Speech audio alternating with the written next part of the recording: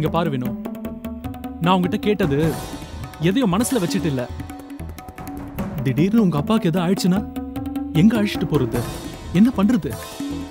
அந்த டைம்ல அதை யோசிக்க முடியுமா? அதுக்காக தான் முன்னாடியே பிளான் பண்ணலான்ட்டு கேட்டேன். நீ எந்த பிளானும் பண்ண வேண்டாம். எல்லாம் எனக்கு பாத்துக்க தெரியும். அவர் பெத்த பொண்ணு கல்லு மாதிரி உயிரோட இருக்கேன்ல நான் பாத்துக்கிறேன் வினோ எதையுமே கொஞ்சம் ப்ராக்டிக்கலா யோசி. இமோஷனலா பேசுறதுனால எதுவும் நடந்துட போறது இல்ல சில விஷயத்துக்கு எல்லா ஆல்டர்னேட்டிவ்ஸும் யோசிச்சு வைக்கிறதுல தப்பே இல்லை. எனக்கு எந்த ஆல்டர்னேட்டும் தேவையில்ல உன்ன மாதிரி எல்லா விஷயத்தையும் என்னால ஈஸியா எடுத்துக்க முடியாது. இது ஒண்ணும் நீ பண்ற கன்ஸ்ட்ரக்ஷன் பிசினஸ் இல்ல. ஆல்டர்னேட்டிவா பிளான் போட்டு ரெடியா வச்சுக்க. வினோ நான் ஒன்றும் ஊர் உலகத்துல நடக்காததை பத்தி பேசல. எல்லாரும் என்ன பண்ணுவாங்களோ அதை நானும் செய்யறதுக்காக கேட்டேன். ஒரு வீட்டில் ஒருத்தவங்க சீரியஸா இருந்தா எல்லாத்தையும் ரெடி பண்ணி வச்சுக்கிறது சகஜம். பிரசாத் உனக்கு எங்க அப்பாவை பாத்துக்கிறதுலயோ இல்ல முன்னாடி நின்னு செய்யறதுலயோ சிரமம் இருந்தா விட்டுடு. எங்க அப்பாவை எப்படி காப்பாத்தணும்னு எனக்கு தெரியும். தயவு செஞ்சு ஹர்ட் பண்ற மாதிரி ஃபூலிஷான கொஷின்ஸ் எல்லாம் கேட்காத. நீ தான் முட்டாள்தனமா யோசிக்கிற. நான் உங்க மேல இருந்த அக்கறையில தான் கேட்டேன். அக்கறைய உயிர் வாழறதுக்கு காட்டு. சாகறதுக்கு காட்டாத. இப்படிதான் நாளைக்கு நான் சாகுற நிலைமையில இருந்தாலும் பிளான் போட்டுக்கிட்டு உட்கார்ந்திருப்பியா? லூசு மாதிரி பேசாத வினோ. உன்னோட கோவம் கொஞ்சம் கூட நியாயமே இல்லாதது. யார்கிட்டயாவது கேட்டு பாரு நான் கேட்டதுல ஏதாவது தப்பு இருக்கான்ட்டு. நீ எதுவும் தப்பா கேட்கல பிரசாத். நான் தான் தப்பா பேசிட்டேன். எது நடந்தாலும் நீ இருக்கிறங்கிற நம்பிக்கையில நான் இருந்துட்டு பாரு. அது ஏன் தப்புதான்? இனி நான் ஒன்ன நம்பல. என் அப்பா அம்மாவை எப்படி பாத்துக்கணும்னு எனக்கு தெரியும். நீ இந்த விஷயத்துல தலையிடாத. தேவையும் இல்லை. ஓ நான் உனக்கு தேவையில்லாம போயிட்டேனா. உங்க அப்பா அம்மா தான் உனக்கு தேவை. இவ்வளவு நாள் எங்க இருந்தாங்க? உங்க அப்பா அம்மா? அப்பா அம்மா எங்கேயும் போல பிரசாத் அங்கேயே தான் இருந்தாங்க. நான் தான் வந்தேன். உனக்காக என் குடும்பத்தையே தூக்கி போட்டுட்டு வந்தேன். அதனால்தான் இன்னைக்கு அவங்க யாருமே இல்லாத அனாதையா இருக்காங்க. அப்போ உங்க அப்பா ஹாஸ்பிட்டல்ல படுத்து இருக்கிறதுக்கு காரணம் நான் தான் சொல்றேன்? பிரசாத் இன்னும் நான் காரணம் சொல்லல. இதெல்லாம் புரிஞ்சுக்கோன்னு சொல்றேன். என் பக்கத்துல வந்து நில்லுன்னு சொல்றேன். திடீர்னு அழுக வந்தா சாஞ்சு அழுக உன் தோலை குடுன்னு சொல்றேன். இதெல்லாம் உனக்கு புரியலனா? அதுக்கு நான் ஒன்றும் பண்ண முடியாது. எனக்கு சத்தியமா புரியல வேணும் நான் எது பண்ணாலும் உனக்கு தப்பாவே தெரியுது. அது ஏன் தப்பா? இல்ல எது பண்ணாலும் தான் செய்யறது சரின்னு நீ நினைக்கிறியே அதுவும் தப்பா? எனக்கு சரியா புரியல. ஏன் தப்பாவே இருந்துட்டு போகட்டும் பிரசாத். நான் தானே எல்லா முடிவையும் உனக்காக எடுத்தேன். நானே பாத்துக்கிறேன். தயவு செஞ்சு உனக்காக தான் வந்தேன். உனக்காக தான் முடிவெடுத்தேங்கிற வார்த்தையெல்லாம் யூஸ் பண்ணாத. நீ எனக்காக மட்டும் இந்த முடிவை எடுக்கல. உனக்காகவும் தான் எடுத்தேன். உன் செல்ஃபிஷ் லைஃப்காகவும் தான் எடுத்தேன். நம்ம லைஃப்ல நான் அவ்வளவு கஷ்டப்பட்டதுக்கு அப்புறமும் உனக்கு நான் செல்ஃபிஷா தெரியறேனா? இருந்துட்டு போறேன் எனக்கு ஒன்றும் ப்ராப்ளம் இல்லை. உனக்கு எதுதான் ப்ராப்ளம் வேணும் உங்க அப்பா நிக்க வச்சு கேள்வி கேட்டா ப்ராப்ளம் இல்ல. உங்க அம்மா கேள்வி கேட்டா ப்ராப்ளம் இல்ல. உன் ஆபீஸ்ல பாஸ் கேள்வி கேட்டாலும் ப்ராப்ளம் இல்ல. ஆனா நான் உன்கிட்ட கேள்வி கேட்டாதான் ப்ராப்ளம் இல்ல?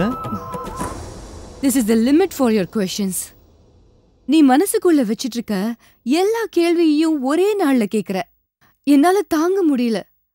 உன்கிட்ட இருந்து நான் இந்த மாதிரி வார்த்தைங்களை எதிர்பார்க்கல. போதும் விட்டுடு.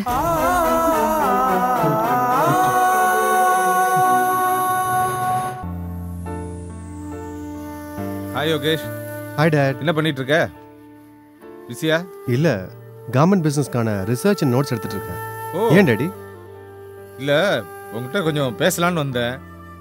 பேசலாமே. சொல்லுங்க டாடி. ஆனா ஒரு கண்டிஷன் கல்யாணத்தை பத்தி மட்டும் பேசக்கூடாது. நான் உங்ககிட்ட கல்யாணத்தை பத்தி பேச வரலப்பா. அப்படின்னா நைட் ஃபுல்லாக பேசலாம். ப்ராப்ளமே இல்லை. அடுத்து என்ன பண்றதா பிளான் வச்சிருக்க? பிஸ்னஸ் தான். ஆ, நல்ல விஷயம்தான் நானும் உன்ன மாதிரி தான்டா. எங்க அப்பா நல்லா பிசினஸ் பண்ணி சம்பாதிச்சிட்டு இருந்த காலத்திலேயே காசு கொடுங்க. தனியா பிசினஸ் பண்ணணும் அப்படின்னு கேட்டேன். அவர் எதுக்குடா தனியா பண்ற? இருக்கிற பிஸ்னஸே பார்த்துக்கேன் அப்படின்னு சொன்னாரு. நான் அடம் பிடிச்சி காசை வாங்கி தனியாக பிஸ்னஸ் பண்ணேன். தோத்துட்டேன். தோத்து தோத்து தான் ஒரு ஸ்டேட்டஸ்க்கு வந்து ஜெயிச்சு நின்னேன். எங்கள் அப்பா நான் அவ்வளோ தடவை தோக்கும் போதும் ஒவ்வொரு தடவையும் இதாண்டா கடைசியாக தர்ற காசு அப்படின்னு சொல்லியே ஒவ்வொரு தடவையும் கொடுத்தாரு. அவ்வளோ சப்போர்ட் பண்ணாரு. நானும் அதே சப்போர்ட்டை உனக்கும் பண்ணுவேன். ஆனால் எனக்கு ஒரு சஜஷன் இருக்கு. இதை பண்ணால் நல்லா இருக்கும்னு தோணுது. முடிவில்லை. சின்னதாக ஒரு அட்வைஸ் அப்பா எனக்கு ஒரு விஷயம் புரியல. உங்களுக்கு உங்கள் அப்பா பண்ண பிஸ்னஸ் பிடிக்கல. அதனால வேற பிஸ்னஸ் ட்ரை பண்ணீங்க. நான் எதுக்கு வேற பிஸ்னஸ் பண்ணோம்? எனக்கு தான் உங்கள் பிஸ்னஸ் பிடிச்சிருக்கே. மார்னிங்லேருந்து நைட்டு வரைக்கும் ஒரே கலர்ஸ் டிசைன்ஸ் அது இதுன்னு ரொம்ப இன்ட்ரெஸ்டிங்காக இருக்குப்பா. உனக்கு இது கண்டிப்பா செட் ஆகாது யோகேஷ். எனக்கு உங்கள் பிஸ்னஸ் தெரியாதுன்னு யோசிக்கிறீங்களா? ம் அதெல்லாம் இல்லப்பா. அப்புறம் என்ன? நான் உங்கள் பையங்கிற ஒரு தகுதிக்காக மட்டும் இந்த பிஸ்னஸ் நடத்தணும்னு சொல்லல. நான் படித்தது எம்பிஏ இன்ட்ரெஸ்ட் எடுத்து கற்றுக்கிட்டது எல்லாமே உங்கள் பிஸ்னஸை பற்றி தான் ம் இதுக்கு மேலே எனக்கு யூகேயில் இருக்கிற நம்பர் ஒன் பிராண்டட் கம்பெனிஸ் எல்லாமே என்னோட டிசைன்ஸை பார்த்துட்டு வேலை தர ரெடியாக இருக்காங்க. இதெல்லாம் போதாதுன்னு நினைக்கிறீங்களா நீங்கள் உங்ககிட்ட இந்த பிஸ்னஸ் பண்ணுற தகுதியே இல்லைனாலும் நான் உனக்கு சப்போர்ட் பண்ணுவேன். பெத்த அப்பனா உன்னை ஒரு நல்ல இடத்துக்கு கொண்டு வர வேண்டியது என்னோட கடமை. நான் யோசித்தது எதுக்குன்னா ஃப்ரெஷ்ஷாக ஸ்டார்ட் பண்ணால் ஒரு கம்பெனியை ஆரம்பத்துலேருந்து எப்படி ஆரம்பிச்சு எப்படி ரன் பண்ணணும் அப்படிங்கிற எக்ஸ்பீரியன்ஸ் உனக்கு கிடைக்குமேன்னு பார்த்தேன். டாடி எப்போவுமே ஃப்ரெஷ்ஷாக ஆரம்பித்து ஜெயிக்கிறத விட ஜெயிச்சு நிற்கிற இடத்த காப்பாற்றுறது தான் ரொம்ப கஷ்டம். இப்போ நான் எது பண்ணாலும் உங்களோட என்னை கம்பேர் பண்ணி பேசிகிட்டே இருப்பாங்க. இதெல்லாம் சமாளித்து உங்கள் பேரை அழித்து அதில் என் பேரை எழுதுறதுக்கு நான் ரொம்ப கஷ்டப்படணும். இதில் எக்ஸ்பீரியன்ஸ் அதிகமாக கிடைக்கும் டாடி ம் ஓகே. உன் விருப்பம் போல செய். ஆனால் ஒரு விஷயம். இதை நீ அட்வைஸாக எடுத்துக்க. ஒரு முதலாளியை மட்டும் நீ மனசில் நினச்சிட்டேன்னு வச்சுக்கோ. ஜெயிக்கவே முடியாது. என்றைக்குமே உழைக்கிற சக்தி இல்லைன்னா ம்ஹும், நம்மளால வாழவே முடியாது. ஒரு மனுஷனை காசு கண்டிப்பாக காப்பாத்தாது. இதை மனசில் வச்சுக்கிட்டு செயல்படு. ஓகே கண்டிப்பாப்பா. உங்கள் பேரை கெடுக்கிற மாதிரி நான் நடந்துக்க மாட்டேன். ம். சரி ஓகேடா. தூங்கு. ரொம்ப நேரம் முடிச்சிட்டு இருக்காத. Okay. Good night good night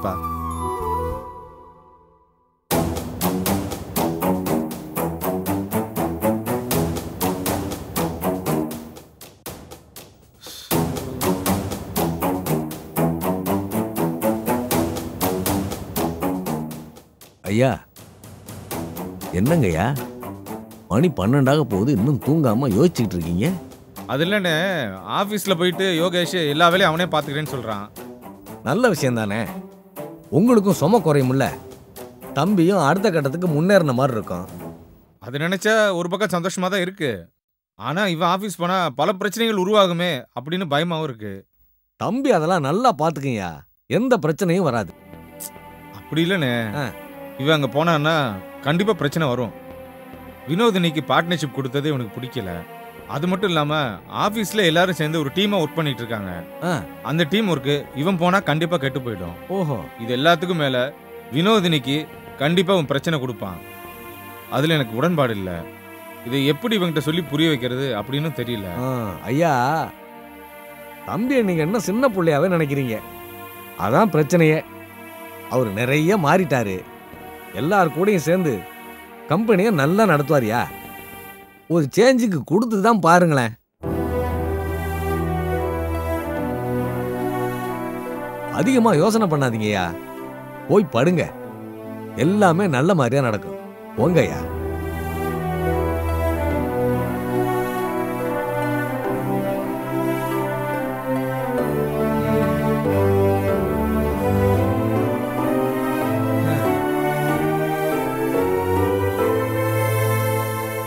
தம்பி எவ்வளவு மாறிடுச்சு?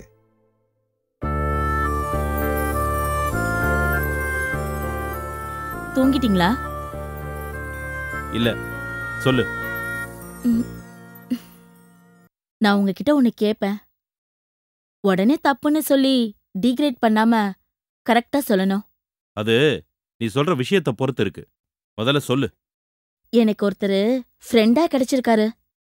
அவர் ஒரு பிசினஸ் பண்றாரு. யாரு? எனக்கு தெரியாம அப்படி யாரு? உனக்கு புது ஃப்ரெண்டு அவரை இன்னைக்கு தாங்க பார்த்தேன். சரியா போச்சு. இன்னைக்கு பார்த்த உடனே ஃப்ரெண்டா நல்ல ஃப்ரெண்டுடி அவர் என்ன பிசினஸ் பண்றாரு தெரியுமா? சொல்லு. மார்க்கெட்டிங் நீங்க சொன்ன மாதிரி தான் ரொம்ப சின்ன லெவல்ல ஆரம்பிச்சிருக்காரு. கஷ்டப்பட்டு கம்யூனிகேஷன் பிடிச்சு இன்னைக்கு நல்ல லெவலுக்கு வந்திருக்காரு. என்ன மார்க்கெட்டிங் அது? ஒரு கம்பெனி நம்ம யூஸ் பண்ற எல்லா பொருளையும் ஆயுர்வேத முறையில தயார் பண்றாங்க.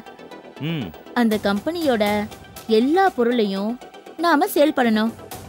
அது மட்டும் இல்லாம இந்த மார்க்கெட்டிங்கோட ப்ளஸ் என்னன்னா நான் சேல்ஸ் பண்ணாமலேயே என்னோட டார்கெட். ஏறும். அது எப்படி? இப்போ நான் அந்த கம்பெனியோட ஒரு பொருளை எடுத்து சேல் பண்றேன். சேல் பண்ணிக்கிட்டே என்னோட இன்னொரு ஃப்ரெண்டையும் இந்த கம்பெனில ஜாயின் பண்ணி விடுவேன். அவர் சேல் பண்ற ஒவ்வொரு பொருளோட வேல்யூவும் என்னோட டார்கெட்ல வரும். இப்ப என்னோட ஃப்ரெண்டு அவரோட ஃப்ரெண்ட ஜாயின் பண்ண வைக்கிறாருன்னு வச்சுக்கோங்க. அவரு சேல் பண்றதும் என்னோட டார்கெட்ல வரும். இப்படியே அவரோட அவரோட ஃப்ரெண்டுன்னு போய்கிட்டே இருக்கும். எல்லாரதும் ஏன் டார்கெட்ல வரும். இப்ப நான் ஐயாயிரம் ரூபாய்க்கு சேல் பண்ணேன்னா எனக்கு கம்பெனில இருந்து எட்நூறு ரூபாய்க்கு செக் வரும். எனக்கு கீழே வர என்னோட ஃப்ரெண்டு அவரோட ஃப்ரெண்டு இப்படி அவங்க சேல் பண்ற எல்லாத்துக்குமே எனக்கு அமௌண்ட் வரும். ஆள் அதிகமாக அதிகமாக நாம ஒண்ணுமே செய்ய வேண்டாம். அவங்களோட சேல்ஸ் அமௌண்ட்டுக்கு ஏத்த மாதிரி மணி வந்துகிட்டே இருக்கும். இது ஒரு சைக்கிள் மாதிரி நடந்துகிட்டே இருக்கும். சுருக்கமா ஆள் பிடிக்கிற வேலைன்னு சொல்லு. அப்படிதான் வச்சுக்கோங்களேன். அதுல என்ன தப்பு இருக்கு? இந்த பிசினஸ்ல நம்ம ஆரம்பத்துல மெனக்கிட்டு ஆளை சேர்த்து விட்டா மட்டும் போதும். அதுக்கப்புறம் தானா அமௌண்ட் மட்டும் வந்துகிட்டே இருக்கும். ஒரே பர்சன் எத்தனை பேரை வேணா சேர்த்து விடலாம். ரொம்ப அலைய வேண்டாம் கொஞ்ச நாள் கஷ்டப்பட்டா அதுக்கப்புறம் வீட்லயே உட்காந்து சாப்பிடலாம். இப்பவே நீ உட்கார்ந்து திருப்தியா தானே சாப்பிடுற? இதுல என்ன புதுசா உட்கார்ந்து சாப்பிட போற?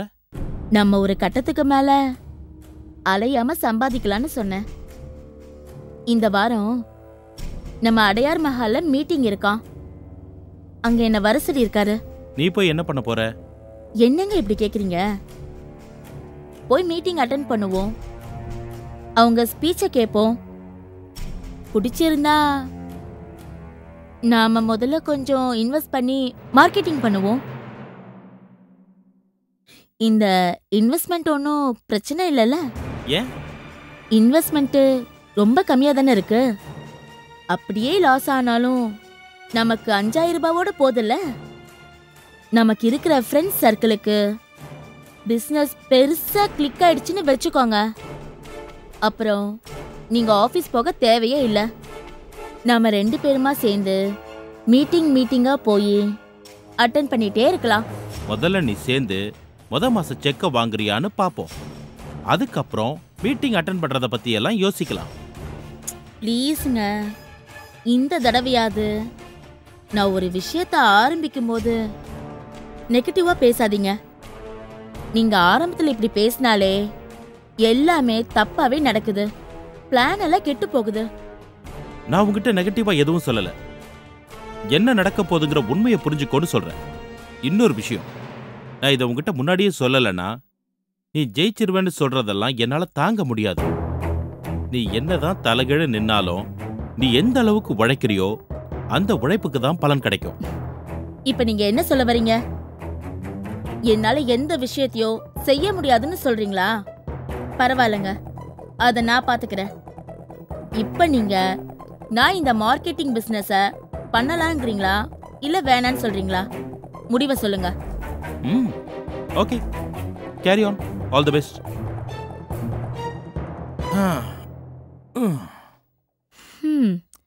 இன்னைக்கு நீங்க திரும்பி படுத்துக்கோங்க. ஆனா என்னைக்காவது ஒரு நாள் என்ன நினைச்சு நீங்க பெருமைப்படுவீங்க. அன்னைக்கு நான் இதே மாதிரி உங்களுக்கு மரியாதை கொடுத்து தான் பேசிட்டு இருப்பேன்.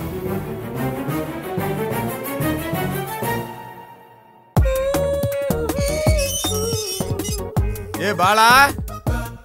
பாலா? ஏ எங்கடி பாலா? இங்க தானே நின்னுட்டு இருந்தா? மாடிக்கு போயிருப்பான்னு நினைக்கிறேன். ஏய்! பாலா? ஏ பாலா?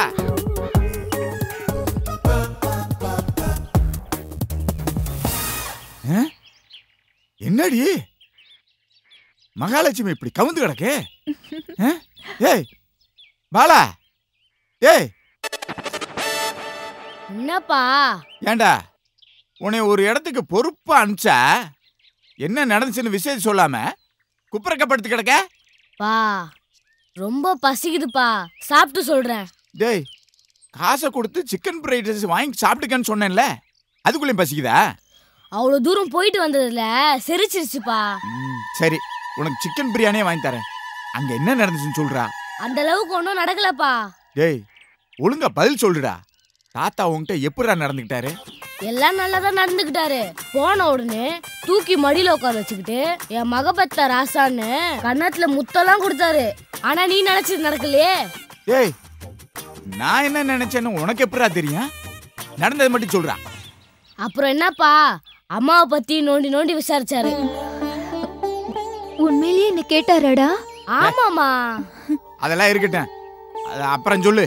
இப்ப நடந்ததை சொல்றா. கடைசியா கிளம்புறப்ப உங்க அப்பா எப்படி இருக்கான்னு உன்னை விசாரிச்சாரு?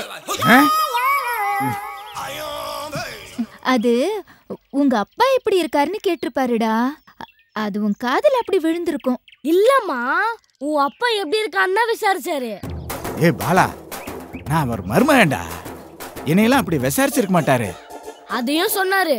மருமக மரியாதை நடந்துக்கிட்டா தானே மரியாதை திருப்பி கொடுக்க முடியும்னு. அவரு சொல்றதும் சரிதான். நீங்க அப்படியே நடந்துக்கிட்டீங்க. உங்க பக்கத்துல உட்காந்து உருகி மருகி விசாரிக்கிறதுக்கு. அதெல்லாம் இப்ப தேவையில்லை. அப்புறம் என்ன நடந்துச்சுன்னு சொல்றா. அப்பா எதா இருந்தாலும் உனக்கு என்ன வேணுமோ அது நேரா கேளுப்பா. வீட்டை பத்தி எதுவும் சொன்னாரா? உங்க அப்பா ஆசை இன்னும் தீரல. உங்க அப்பா ஆசை தான் என்னையும் மகளையும் பிரிச்சுது. இன்னும் உங்க அப்பா அதே மாதிரி தான் அலைஞ்சிட்டு இருக்கானான்னு கேட்டாரு. குடுக்கறேன்னு சொன்ன பிற்பாடு தாண்டா ஆசையா ஆரம்பிச்சது. இதுல எங்க இருந்து அலையறத கண்டுபிடிச்சாரா? அதெல்லாம் எனக்கு தெரியலப்பா. உங்ககிட்ட பத்திரத்தை எதுவும் கொடுத்து விடலையா? அதெல்லாம் எதுவும் கொடுக்கலப்பா. அவர் வேற ஏதோ வேலையா வந்திருக்காரு. உங்ககிட்ட பத்திரம் கொடுக்கறதுக்காகலாம் இங்க வரல. இதே இவங்க குடும்பத்துக்கு புலப்பா போச்சுடா. முதல்ல கொடுப்பேன்னு சொல்லி காரியத்தெல்லாம் சாய்க்கிறது காரியம் முடிஞ்ச உடனே கழட்டி விட்டுறது. நீ நல்லா கேட்க வேண்டியதானே ம்? அப்படி என்னத்தை கண்டுபிடிச்சீங்க? உங்களை ஏமாத்தி நடுரோட்ல நிக்க வச்சோம். கொப்பனை உன் பிள்ளை பார்த்துட்டு வந்த உடனே பாசம் பொங்குதோ?